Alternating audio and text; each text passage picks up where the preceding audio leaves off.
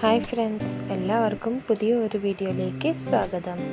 ഇന്നത്തെ വീഡിയോ നമ്മൾ കോട്ടയം സ്റ്റൈൽ മീൻ കറിയാണ് ഈ ഉണ്ടാക്കാൻ പോകുന്നത്. അപ്പം നമുക്ക് നേരെ വീഡിയോയിലേക്ക് പോകാം. ആദ്യം തന്നെ നമ്മൾ മീൻ പീസസ് ഒക്കെ ഒരു അഞ്ചാറ് തവണ വെള്ളത്തിൽ നല്ലോണം കഴുകി മാറ്റുക. അത് കഴിഞ്ഞ് നമ്മൾ എടുക്കാനുള്ള പുളി നാല് പുളിയാണ് ഞാൻ ഒരു കിലോ മീനിന് എടുത്തേക്കുന്നത്. അപ്പം ഓലക്കുഴവാണ് ഈ മേടിച്ച് വെക്കുന്നത്. നാല് പുളിയുടെ മേളിൽ കുറച്ച് ഉപ്പും കൂടെ ഇട്ട് വെച്ചിട്ടുണ്ട്. അപ്പം തന്നെ നല്ല ഒരു ടേസ്റ്റ് വരും. പക്ഷേ ഈ മീൻ കഴുകുന്നത് നമ്മൾ മീൻ പുളിയില്ലേ? മീൻ പുളി നമ്മൾ കഴുകി എടുക്കുന്ന ആ വെള്ളം വെച്ച് തന്നെ മീൻ കഴുകിയെടുത്താൽ നമുക്ക് മീനിന്റെ ആ ഉളുമ്പൊക്കെ ഒക്കെ എല്ലാം മാറിക്കിട്ടും. നല്ല വെളുത്തിരിക്കും മീൻ. പിന്നെ ആ ഉളുമ്പൊക്കെ മാറിപ്പോവുക. നിങ്ങൾ ആ മീൻ പുളിയുടെ വെള്ളം വെച്ച് കഴുകിയെടുത്താൽ. പിന്നെ അത് കഴിഞ്ഞ് ഞാൻ മീൻ പീസസ് ഒക്കെ കഴുകി കഴിഞ്ഞ് നമ്മൾ ഉപ്പും മഞ്ഞളും തേച്ച് പിടിപ്പിച്ച് വെച്ചിട്ടുണ്ട്. ഇത് ഞാൻ വീഡിയോ എടുക്കാൻ മറന്നുപോയതാ. ഇഞ്ചിയും വെളുത്തുള്ളിയും പച്ചമുളകും കുറച്ച് കടുകും.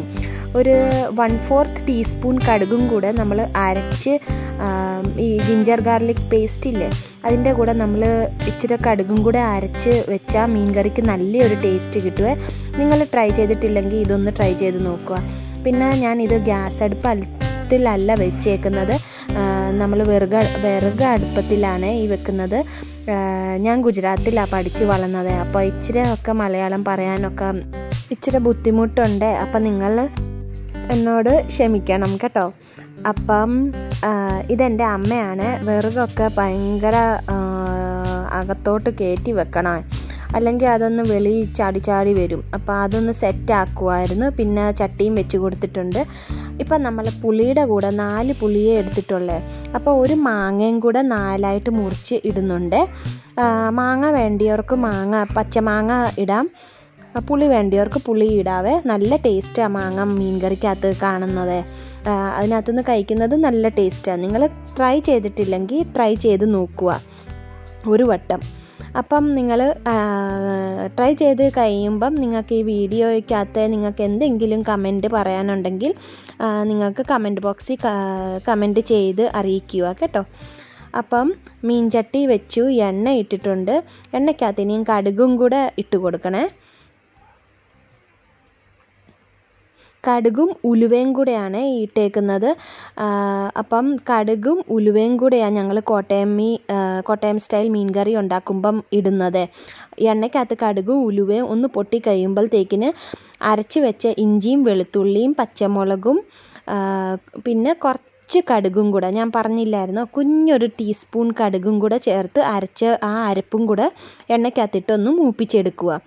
ഒത്തിരി ബ്രൗണിഷ് ആവേണ്ട ആവശ്യമില്ല. ഒരു രണ്ട് മിനിറ്റ് മൂന്ന് മിനിറ്റ് ഒന്ന് മൂപ്പിച്ചെടുത്താൽ മതി ഇഞ്ചി ഇഞ്ചിയും വെളുത്തുള്ളിയുടെ ആ അരപ്പ്. ഇനി നമ്മൾ കുറച്ച് കരിവേപ്പിലയും കൂടെ ഇട്ട് കൊടുക്കണേ.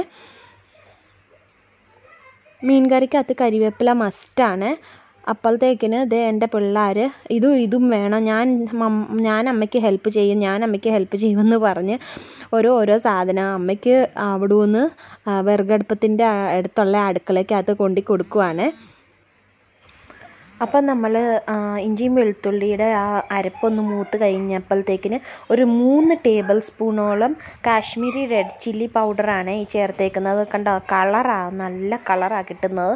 മീൻ കറിക്ക് നല്ല ടേസ്റ്റാണ് പക്ഷേ എരിവൊട്ട് കാണത്തുമില്ല നല്ല കളറ് കിട്ടുമേ പിന്നെ നമ്മൾ ഉപ്പ് ഉപ്പ് ഇട്ട് ആ പുളി വെച്ചിട്ടില്ലായിരുന്നു. അപ്പോൾ അതൊക്കെ കുറച്ച് വെള്ളത്തിലൊക്കെ കലങ്ങി വന്നപ്പോഴത്തേക്കിന് ആ പുളിക്കകത്ത് നല്ല ഒരു ഉപ്പിന്റെ ആ ടേസ്റ്റ് കിട്ടുമേ അങ്ങനെ ആ പുളിവെള്ളവും കൂടെ ഇട്ട് ഒന്ന് തിളപ്പിച്ചെടുക്കണം. ആ മുളകിട്ടോണ്ട്.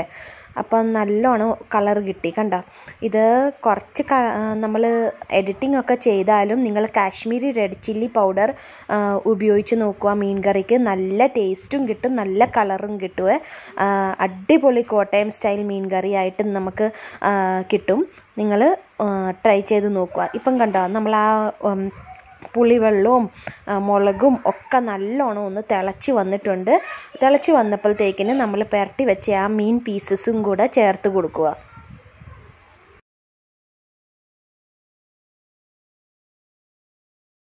പിന്നെ നമ്മൾ മീൻ പീസസ് ഒക്കെ ചേർത്ത് കൊടുത്തു കഴിയുമ്പോഴത്തേക്കിന് ഒന്നൊന്ന് സ്പൂൺ ഇട്ടൊന്ന് ഇളക്കി കൊടുക്കണേ. കൂടുതൽ ഇളക്കല്ലേ ഇങ്ങനെ കുത്തി കുത്തി ഇളക്കല്ലേ. ഒന്ന് സൈഡി സൈഡി ആയിട്ടൊന്ന് ഇളക്കി കൊടുക്കണം. പിന്നെ പച്ചമാങ്ങ പീസായിട്ട് മുറിച്ചതും കൂടെ ചേർത്ത് കൊടുക്കുക. അപ്പം തന്നെ മീൻ മീനിന്റെ കൂടെ തന്നെ. പിന്നെ ആവശ്യത്തിന് ആ മീനിന്റെ ആ ഭാഗമില്ലേ അതിന്റെ മേൽഭാഗം വരെ മാത്രം നിങ്ങൾ വെള്ളം ഒഴിച്ച് കൊടുത്താൽ മതി. അപ്പോൾ അതിന്റെ കറക്റ്റ് അളവ് മീൻ കറിയായിട്ട് കിട്ടുന്നത്. കൂടുതൽ വെള്ളവും ആകത്തില്ല. നല്ല ടേസ്റ്റും കിട്ടും.